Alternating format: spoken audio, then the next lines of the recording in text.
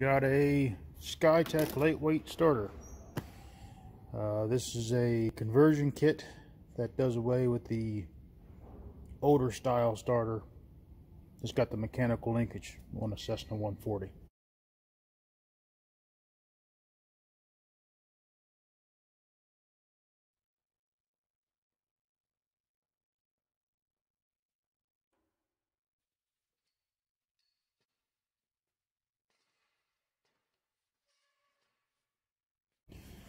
This is uh, this is our Cessna that we're working on.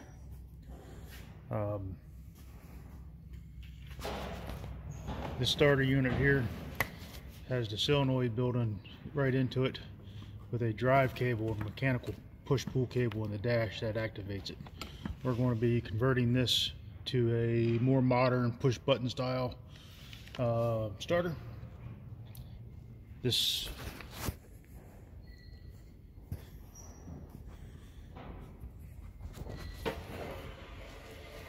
the Cessna here you can see it has been upgraded to an alternator at some point in its past so the wiring's not going to be the same it's in the manual that I have so I have to find a wiring schematic for this alternator and compare this airframe wiring to see if it matches what the wiring schematic shows for the alternator and then see how we're going to how it corresponds with the new plans of rewiring this starter for the controls.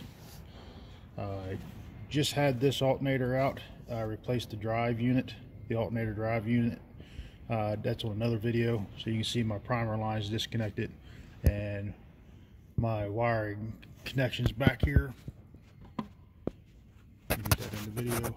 These connections are still just finger tight they're still loose. I don't know if I'm to have to change any of this around. Um, I'm assuming that I'm going to but let me get the starter unboxed uh, get all the paperwork uh, out give me a chance to review it, and then we'll pick back up. Well, I flipped through these this documentation fairly thoroughly, I thought, and I couldn't find a reference to installing a high voltage contactor switch, a solenoid, if you will, a starter solenoid. And in this drawing here, um, the directions just call out to attach the push to start button, the wiring, right to the starter itself. This large lug will get the power and then the contactor will send it to this start circuit on the starter. Looking at the starter itself, this is assuming that this has power on it all the time, and then this will be the signal wire, okay, that engages the starter. Well, if I put power to this, it has this little black jumper in here the starter, as soon as power touches this, this starter is going to start making noise no matter what's connected to this little signal wire lug. So with this jumper in place, I just couldn't understand how this system would work. Fortunately, this kit uh, cost a lot of money and Sky-Tec has really good uh, product support. I gave them a call. I talked to a gentleman named Alan and he basically in 30 seconds said oh you got this model? That's simple. Take that jumper off. So there we go. There's the answer. So this particular model uses this contactor as the solenoid. It simply has the the charge cable coming off the alternator. Will come up to here use this as a binding post which will go back to the battery. Likewise it comes up from the battery and sits here with 12 volts 14 volts whatever the case may be waiting for a signal and when power is applied to here that will engage this contactor. Now our switch our cabling being that we'll have 12 volts sitting here 12 14 volts depending on the engine's run but let's just call it 12 for this conversation. Being that we'll have 12 volts sitting here we'll tap into this go back to a push button and then the push button will make contact with this signal lug with this jumper removed and when the push button is pushed It'll simply take power from this lug and apply it to this, which this jumper is doing right now. And this jumper, I would assume, would be left in place if you're going to be using an external solenoid, start solenoid. But that's a simple solution. And I'm going to review the paperwork a little bit closer because I'm sure that's written in one of these notes here somewhere in fine, line print. I'll get my glasses on, a magnifying glass out later, and I'll find that data so that I have it for my own personal information. But, and I'll also, if you go online, all the wiring schematics that you pull up for this show an external solenoid. I didn't find a wiring schematic that supports using this contactor alone. But uh, that's what we do in this install, this particular install on this Cessna.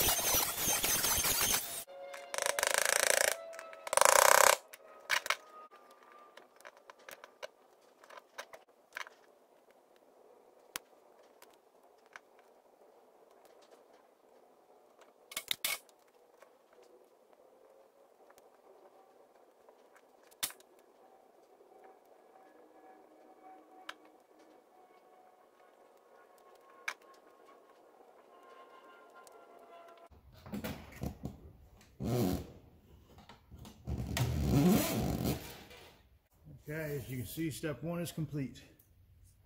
Removal of the mechanical pull cable for the starter.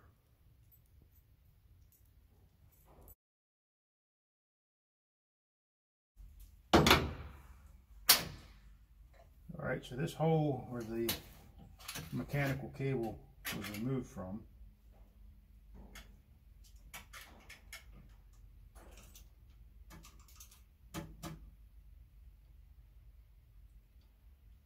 measures, let's see, it's three eighths of an inch. So the directions say I need to open that up to five eighths. And we have relatively new paint. I'm going to put a piece of tape over this in hopes that I don't splinter up the fresh paint.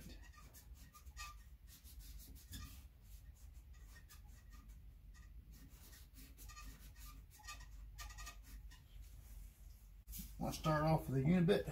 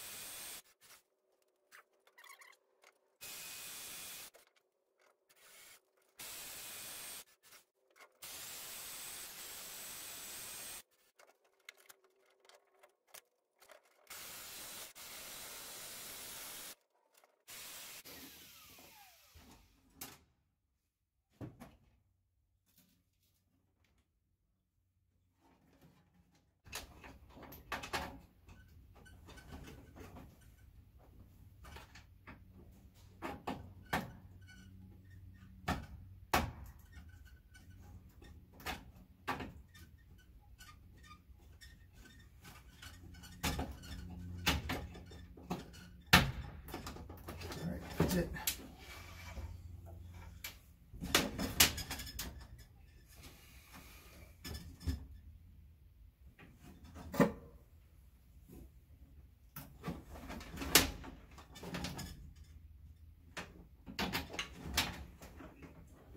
Okay, it just fits.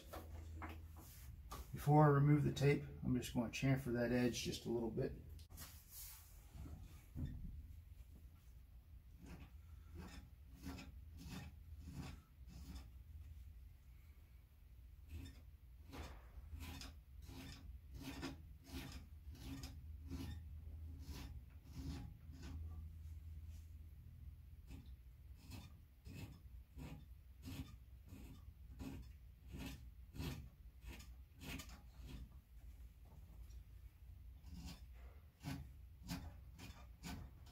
Doing this to finish off the painted edge so that I don't chance the uh, paint nicking or peeling up or chipping away here at the opening. So this is just going to, I guess on a microscopic level, just feather in the paint to the newly cut hole.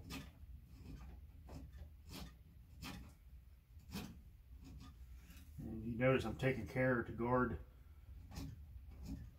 the file on the ends and stuff that I'm not using to keep from scratching anything else up. Just taking my time.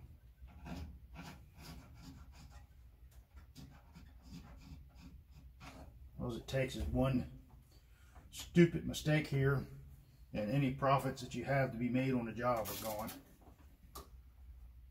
Nobody wants to work for nothing.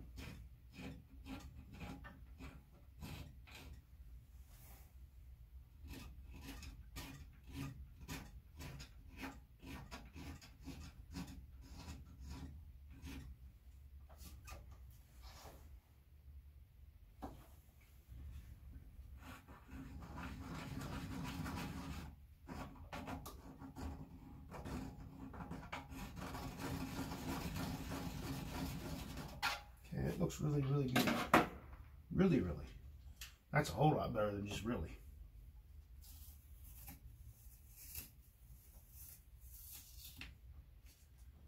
I don't know if you can see that. Let me see if I can get a close up. You chamfer it off very nicely. I'm very pleased with that.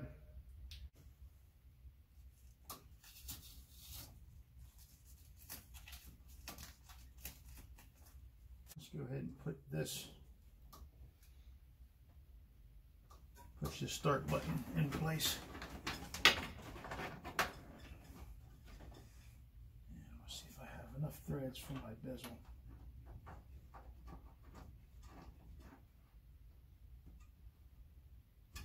Oh yeah. Very nice. This is expensive tape. I know it seems wasteful to use expensive tape all over the place, but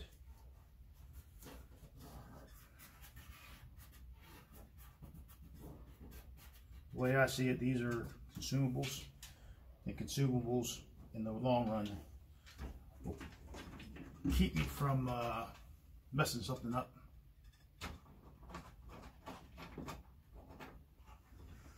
All right, so we're going to go to the bench. We're going to go ahead and wire the switch up.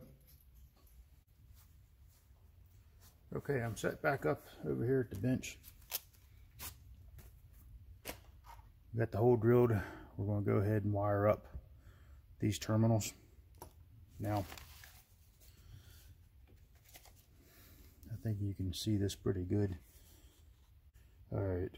Remove pull start cable and enlarge panel hole if required to 5 eighths of an inch. Done. Attach 5 16 ring lug to the power bolt of the starter along with the starter power cable. Tighten the nut of the power bolt to 50 inch pounds. In step 4, attach the number 8 ring lug on the same end of the cable as the lug in number 3 above to the small S terminal on the starter. Tighten nut on the terminal. Okay, that's pretty simple. If you can see here in the drawing, um, we got a small ring terminal and a large ring terminal, and it's going back to the push button.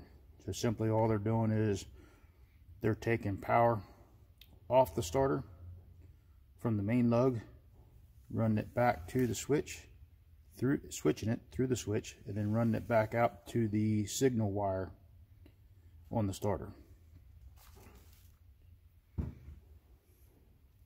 So basically what that means on the starter itself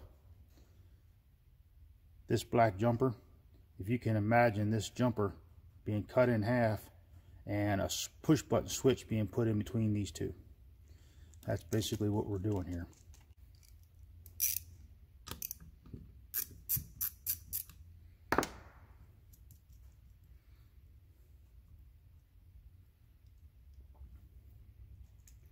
Simply going to remove this jumper.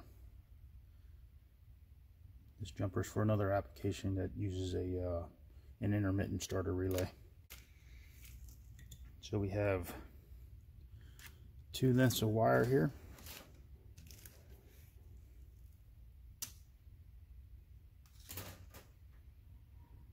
Nice. And of course the placard for the dash. Pretty nice kit so far. Let's look at these terminals. This this terminal here is definitely an aviation terminal.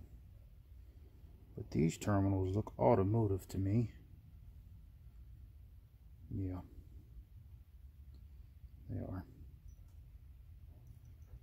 Which I don't particularly like.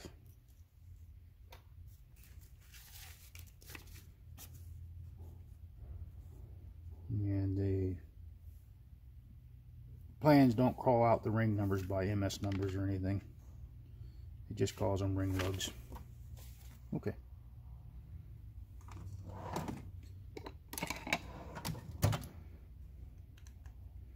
So these number eights or number sixes?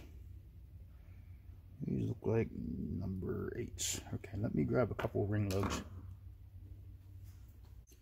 Okay, I know this wasn't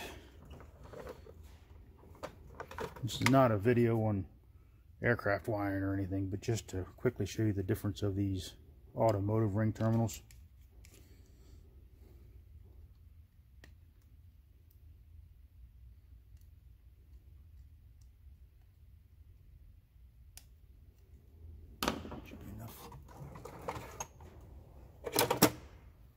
I'm just going to pull this insulation piece off.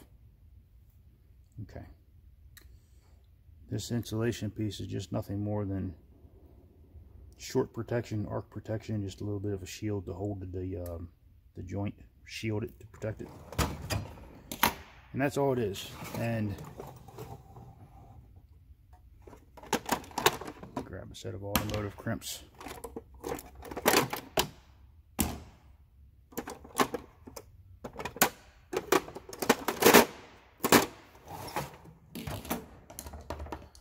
This is a automotive style crimping tool and you simply put the wire in there. Go to your proper gauge and then that just simply smushes it like that and you're done. Wire is terminated. Now the aviation crimps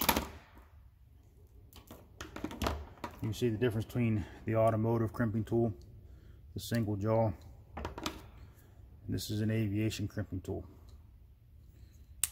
And if you look closely, we'll go with this red jaw here. We can get the camera just right. You can see these jaws, one protrudes further than the other. You see that?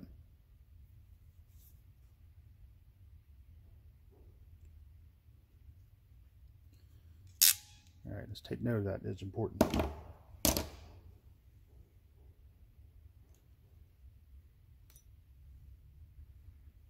We can see down inside of one of these aviation crimps. If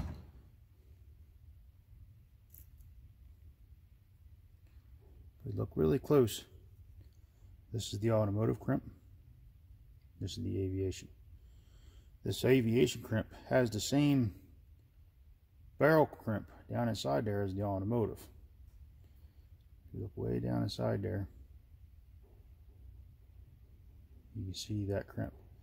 Now this also, you may have noticed, this has an extra layer of metal coming up here almost to the end of this plastic. What that is is a strain relief that actually crimps on the insulation to help the end secure the end. That's why the crimping tool has two different jaws one for crimping the conductor and one for crimping on the insulation.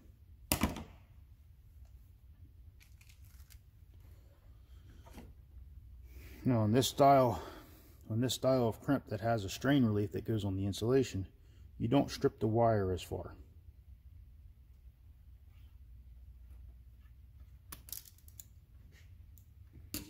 Right there is plenty, actually more than enough.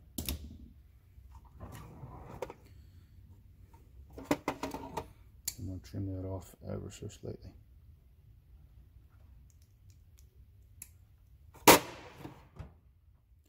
Now for the aviation crimps, that's plenty. Now you'll see what will happen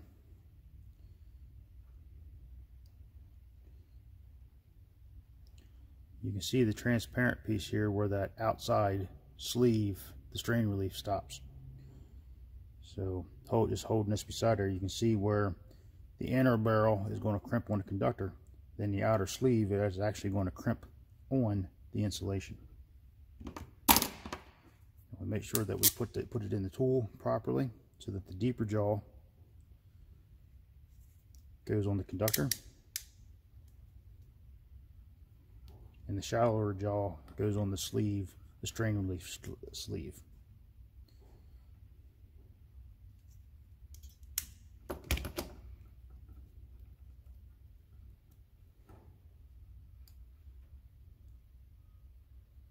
Oh, that must be a bigger gauge than I thought. Let me grab let me grab three blues. Alright, that was a little oversight on my part. I should have realized with the automotive ones being blue, but I wasn't paying attention. So let's pick up where we left off. These are the exact same as the red ones I just showed you, except of course a little bit bigger in diameter. So this same principle in the jaw, one for the conductor, one for the strength member, but I'm going to use the color coded the appropriate die.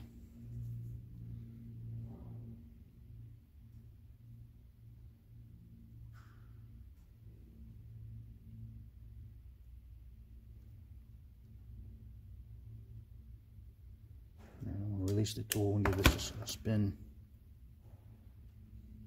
There we go. Now, just see the wire sticking out the end there. Just barely. Make sure the jaws are oriented properly.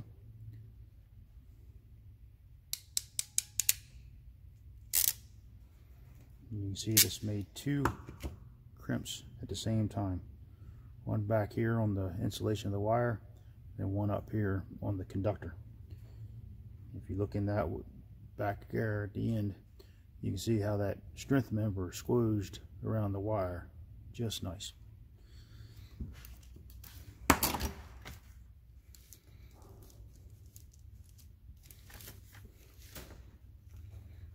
get the other one made up while we're here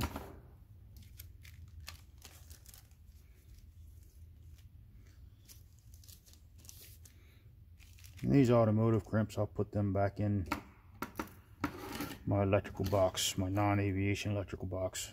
I can use them for trailer wires or whatever. I'll have plenty of opportunity to use those.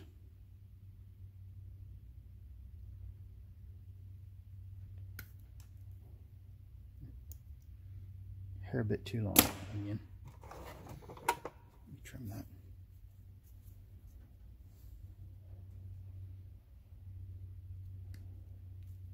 That's perfect. Again, by several other electrical conductors, that looks awfully short. But understand in these aviation ring terminals and the way that they work, it makes perfect sense.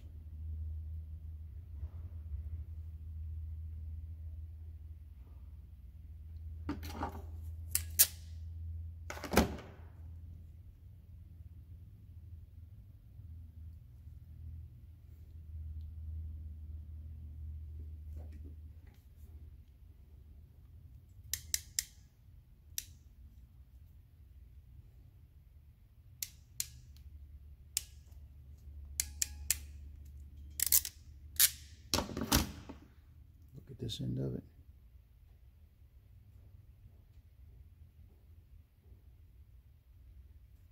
can't see this one as well because it's further up, but it still looks good.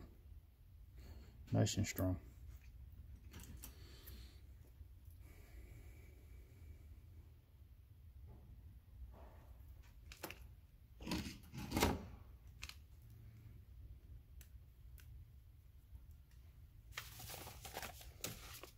Notice on the drawing, these two ends of the wires here are now terminated.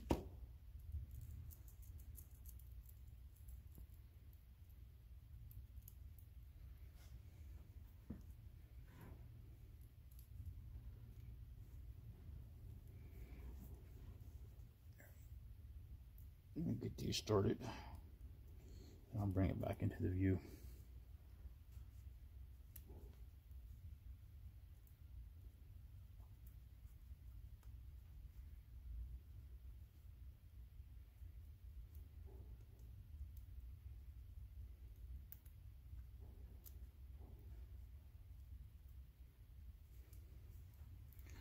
All right, I'll get some lacing cord and I'll lace this up real nice.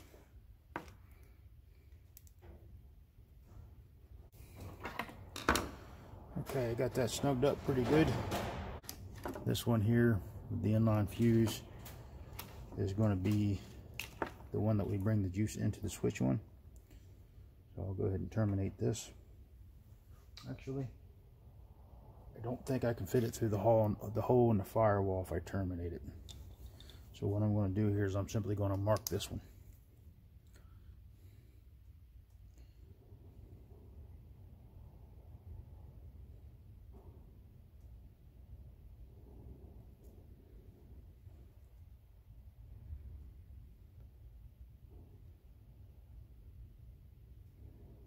Some of that tracer should survive being pulled through the dash.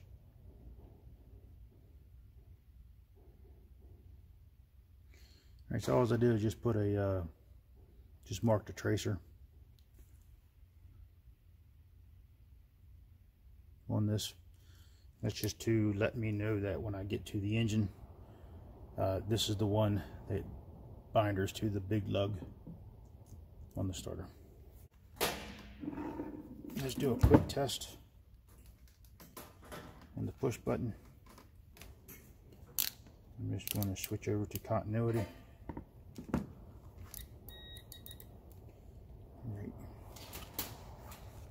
Here's the one end. Here's the other. And the push button.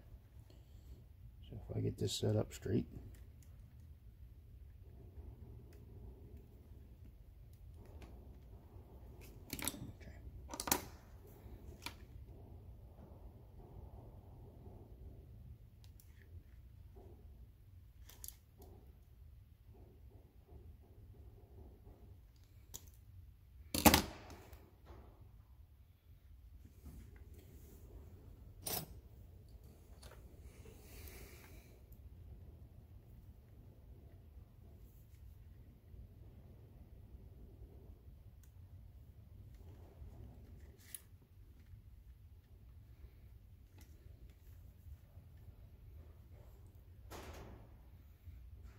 Okay, and if all the terminations are correct, when I energize this switch or when I make contact, I should have continuity through the wires through the switch.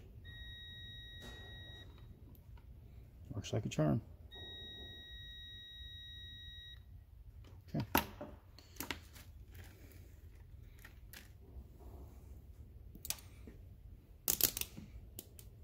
That's just a real simple step in case I have problems with something not working when I'm finished this project.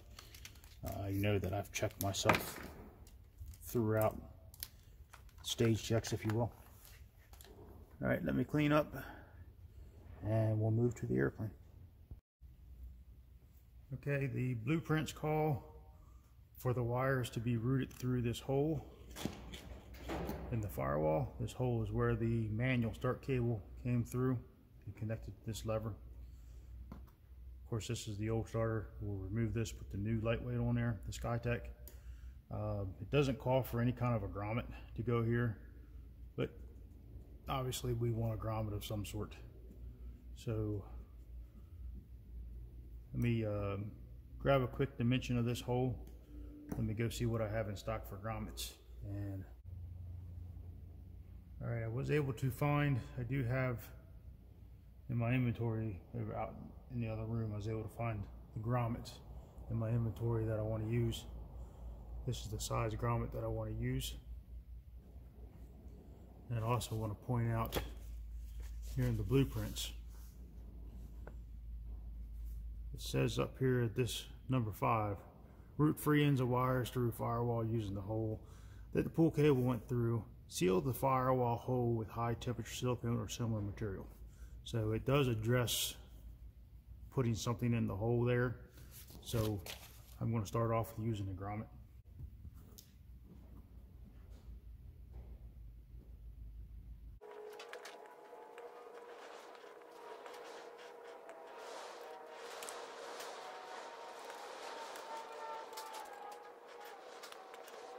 This bracket here made it a little bit difficult to install that grommet.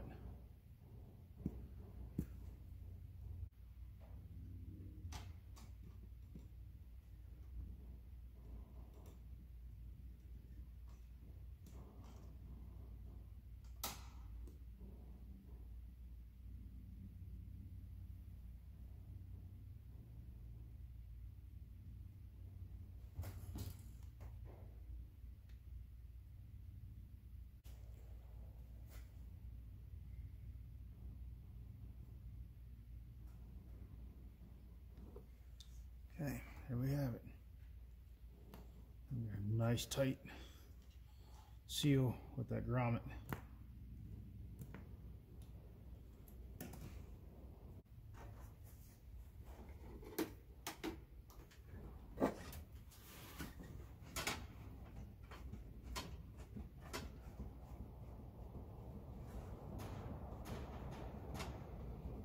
This one, this installation makes it good to record because I, obviously, as you can see, I have the, the instrument panel removed. Which,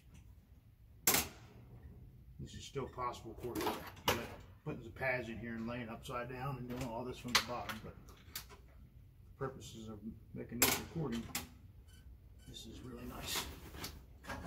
So what I'm going to do is route these wires through here. There's an Adel clamp up inside here. I want to I want to uh, capture these wires in that Adel clamp and install this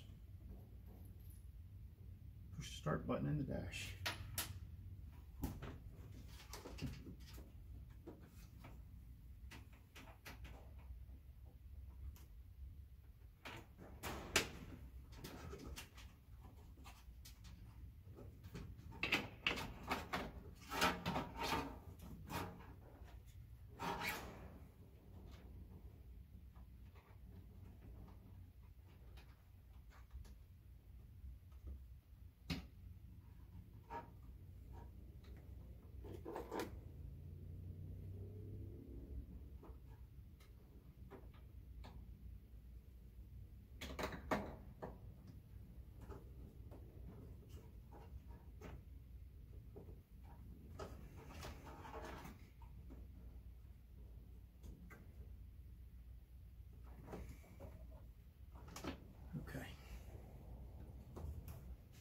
I was real careful only to hold this bezel, only to hold this bezel and tighten up the jam nut on the backside so that it didn't grab my paint, peel up my paint, and ruin my paint job. Buttons in, button is secure. I'm